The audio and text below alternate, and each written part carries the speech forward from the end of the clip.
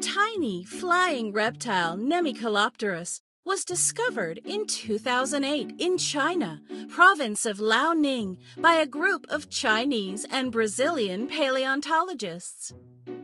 The skeleton was virtually intact, although the remains of flying reptiles are often very fragile and preserved poorly. The name Nemicolopterus means flying forest dweller. Nemicolopterus is so small that it has given rise to arguments among scientists.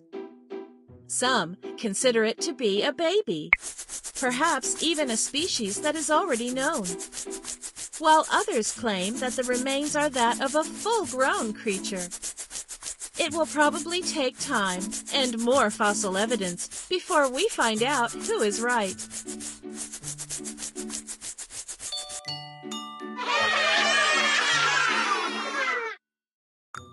Now, what's certain is that Nemicolopterus is part of a very interesting group of ancient reptiles that mastered flight and conquered the Mesozoic skies. These flying reptiles are called pterosaurs. They evolved a bit later than dinosaurs, about 228 million years ago, and became extinct at the same time dinosaurs did, 66 million years ago.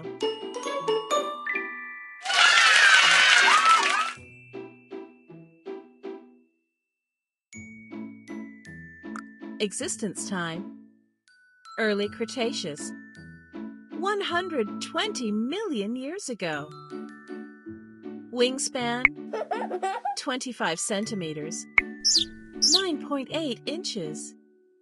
Body weight 15 to 20 grams 0.5 ounces to 0.7 ounces. Look who's here! Little Min, the Nemicolopterus. He's a flying reptile no bigger than a mouse. These creatures developed wings that are completely different from those of birds. Their forelegs, with their extremely long fourth fingers, formed a frame for a leathery membrane, the bottom of which was attached to their short hind legs. Pterosaurs had no feathers, although their bodies were covered with hair-like structures that served as thermal insulation and probably display, just like bird feathers do.